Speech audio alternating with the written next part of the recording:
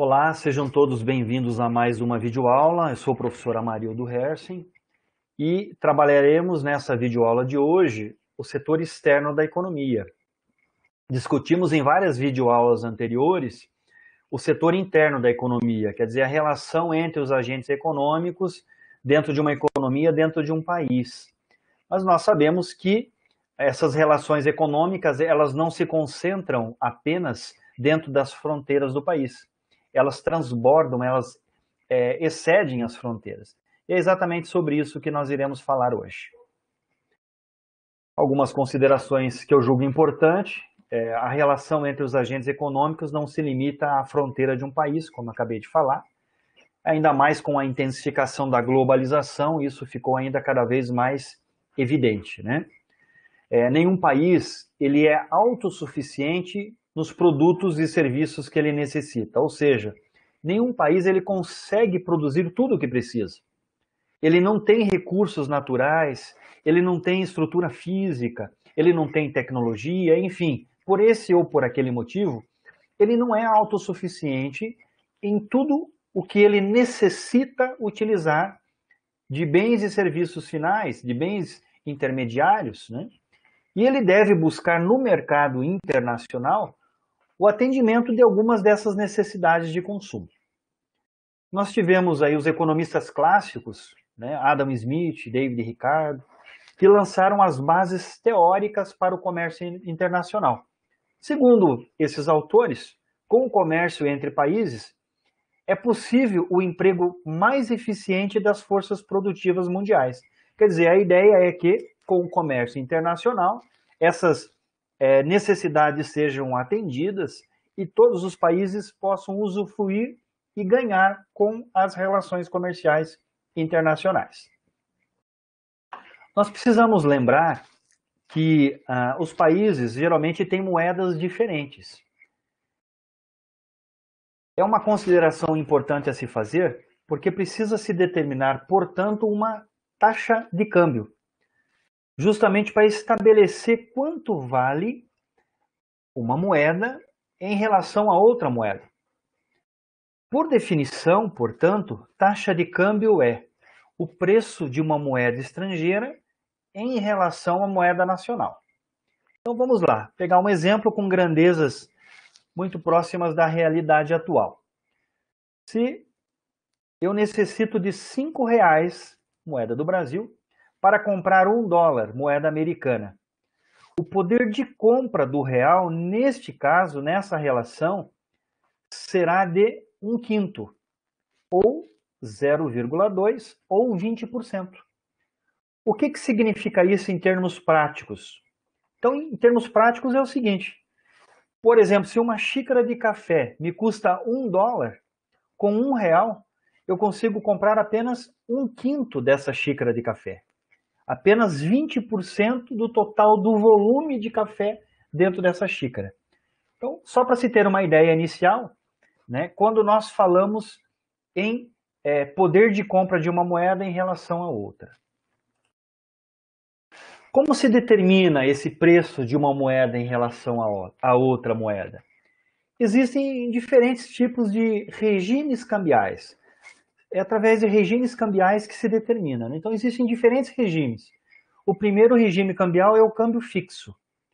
Quando o câmbio é fixo em um país, o Banco Central ele, ele determina, ele fixa o preço da moeda estrangeira em relação à moeda nacional, com pequenas variações em torno de 2%. Então, eu vou lá acessar a página do Banco Central no dia 1 de janeiro e percebo, opa, tá é, quatro unidades monetárias para um dólar, né, para comprar moeda estrangeira do comércio internacional. Aí eu vou lá em março, mesma coisa, R$ real e um centavo. Vou lá em abril, em setembro, em dezembro, eu percebo que sempre está em torno desse patamar, né? Então há um indício de que o câmbio é fixo, está sendo apenas determinado pelo Banco Central do país. Bom, o câmbio ele pode ser também flexível ou flutuante. Neste caso, a taxa de câmbio ela é determinada pelo livre mecanismo das forças de oferta e procura atuante no mercado de divisas estrangeiras conversíveis. O que, que significa isso? as forças de oferta e demanda, que diga-se de passagem é um conteúdo que nós já trabalhamos em uma outra videoaula, são essas forças que determinam o câmbio, quer dizer, que determina o preço de uma moeda em relação à outra. E o terceiro regime cambial é chamado de banda cambial. A banda cambial ela é verificada quando o Banco Central do país ele determina um valor mínimo e um valor máximo para a taxa de câmbio. Então, eventualmente, o país ele permite que hajam flutuações dentro de um patamar mínimo e máximo, e quando deixa de ser interessante, quando atinge uh, um valor máximo, entendido como prudencial, o Banco Central acaba atuando e não permite que se ultrapasse essa banda superior, ou o inverso, né? não permite que se ultrapasse a banda inferior. Então existe um intervalo a qual pode ser flexível, mas existem limites inferiores e superiores. Então, este tipo de regime é denominado banda cambial. É, vamos falar um pouquinho sobre desvalorização e valorização cambial. É uma, é uma questão bastante prática e bastante importante para se entender o quanto que influencia essas oscilações na taxa de câmbio né? ou essa desvalorização excessiva ou uma valorização excessiva da nossa moeda em relação à moeda estrangeira. Bom, com a desvalorização cambial, eu preciso de mais de uma unidade de moeda nacional para comprar uma unidade de divisa estrangeira. Então, quando está desvalorizado, tem que tomar cuidado, né? Porque às vezes nós vemos lá, ah, hoje eu preciso de um real para comprar um dólar, amanhã são dois, depois são três. Eu percebo que em reais está aumentando. A gente acaba às vezes confundindo esse aumento em reais com valorização, e na verdade é o inverso. Nós temos que pensar da seguinte forma: a, a moeda é, nacional ela está desvalorizando porque eu preciso cada vez uma quantidade maior dela para comprar o mesmo objeto, a mesma coisa, que é uma unidade monetária de moeda estrangeira. Então, sobre esse aspecto, há uma desvalorização da nossa moeda. Sempre estamos falando da nossa moeda em relação à moeda estrangeira. Moeda nacional desvalorizada é igual a preço da, ao preço da divisa estrangeira elevado. Né? Então, essa é a ideia. Neste caso, a taxa de câmbio é maior do que 1.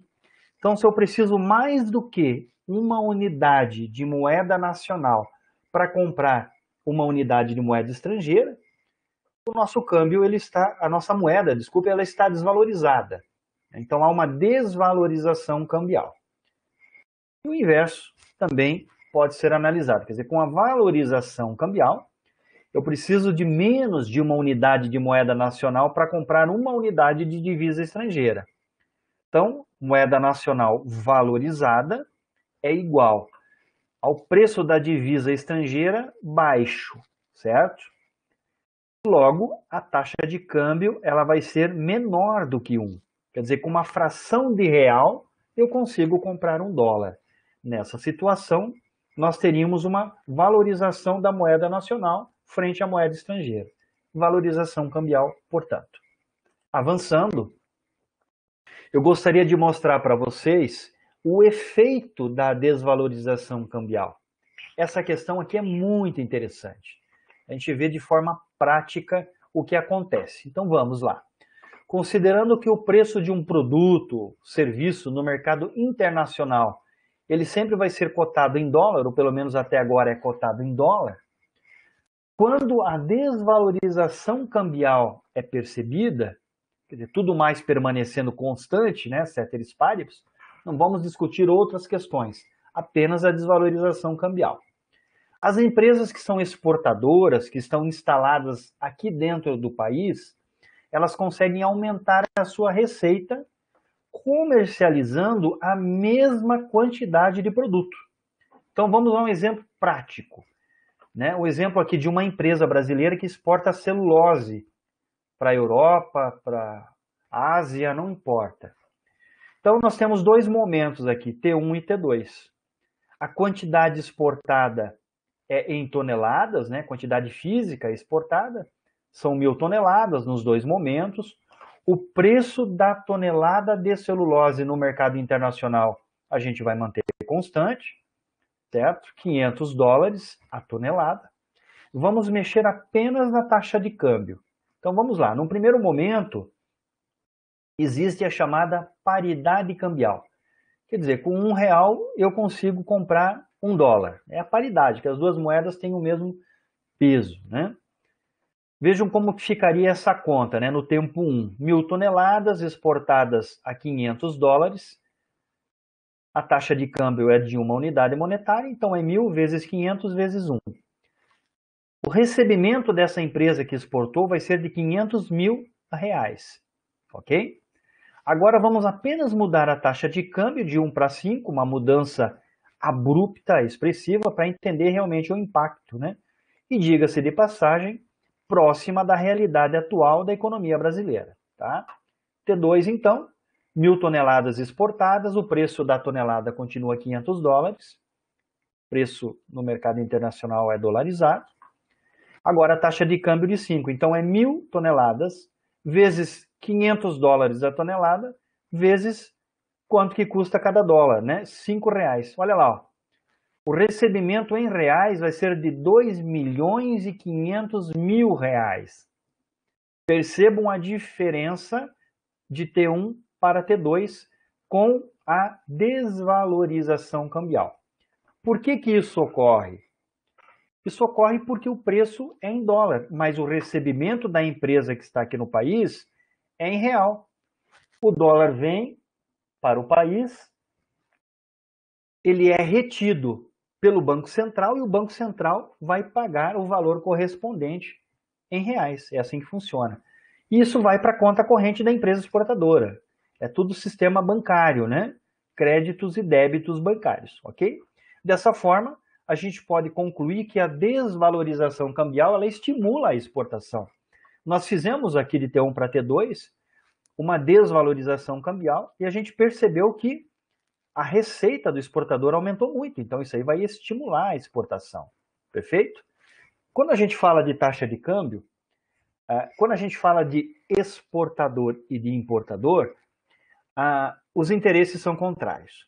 Então, se o exportador está dando risada, está feliz, muito provavelmente o importador está depressivo e triste, porque ele está sendo penalizado, prejudicado pela situação do câmbio. Né? Vamos ao outro exemplo que é a valorização cambial. Então, nós percebemos que a desvalorização estimula a exportação e, de forma contrária, ela vai desestimular a importação, a compra de produtos no, merc eh, no mercado internacional. Bom, vamos falar do efeito da valorização cambial, o inverso agora. Então, vamos considerar que o preço do produto ou serviço no mercado internacional é cotado em dólar, da mesma forma, quando a valorização cambial é verificada, ceteris paribus, as empresas importadoras agora compram a mesma quantidade a um preço menor. Vejam lá, o exemplo que eu trouxe para vocês é de uma empresa brasileira que importa notebook, ok? Então vamos lá, T1 e T2 novamente. A quantidade importada agora está em unidades, né? Esse tipo de equipamento é comprado em unidades. O preço em dólar, tá? 400 dólares. Percebo que nós não mudamos nem quantidade nem preço de T1 para T2. A única coisa que nós fizemos aqui foi uma alteração na taxa de câmbio. No primeiro momento existia a chamada paridade cambial, quer dizer, um real igual a um dólar. E no segundo momento eu é, induzi aqui a uma valorização do câmbio. Quer dizer, com menos de um real eu consigo comprar um dólar. A nossa moeda nacional está valorizada. Com menos quantidade dela eu já consigo comprar um dólar. Vamos lá aos cálculos, né? Então, é, mil unidades de notebook são compradas a 400 dólares, vezes a taxa de câmbio, que é um real, o dólar, né? A, a empresa vai pagar por essa importação 400 mil reais, ok? No segundo momento, ela vai importar mil unidades de notebook, continua comprando a 400 dólares cada unidade, mas o câmbio mudou. Né? O câmbio caiu aí 40%. Agora, com 60 centavos de real, eu consigo comprar um dólar. 1.000 vezes 400 vezes 0,6, essa empresa importadora agora ela vai pagar 240 mil por essas mil unidades de notebook. Percebam que a importação foi estimulada com a valorização. O exportador lá do outro lado, do slide anterior, esse está brabo, está chorando, está depressivo. Porque com a valorização cambial, os seus ganhos se reduzem. É o inverso, né? Sempre a alegria de um é a tristeza do outro. Quando a gente fala de taxa de câmbio e quando fala de importação e exportação. Por que, que isso ocorre? Isso ocorre porque o preço é em dólar, novamente, mas o pagamento é em real. A empresa aqui no Brasil vai pagar em real, o Banco Central vai converter e vai, envi vai enviar os dólares. É assim que funciona.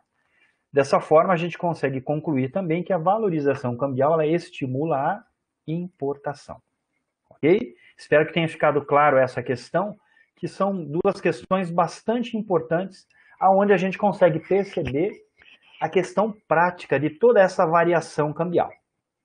Espero que vocês tenham gostado dessa videoaula. O que eu preparei sobre o setor externo é mais esta abordagem prática para que vocês possam entender realmente a influência da variação cambial, seja para a desvalorização ou para a valorização, qual é o impacto que isso causa na importação e na exportação. Né?